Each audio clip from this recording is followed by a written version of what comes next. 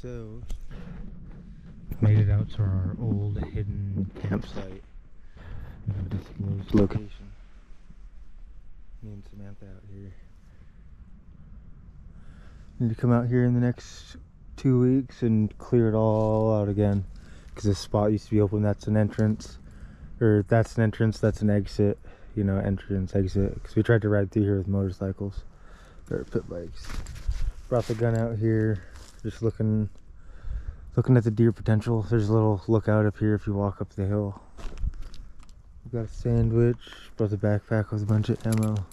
There's a tarp that we left out here for our makeshift little lean-to thing. And then Cameron's old camping chair is still here. He's got like these ammo holders. I don't remember what they were. But yeah.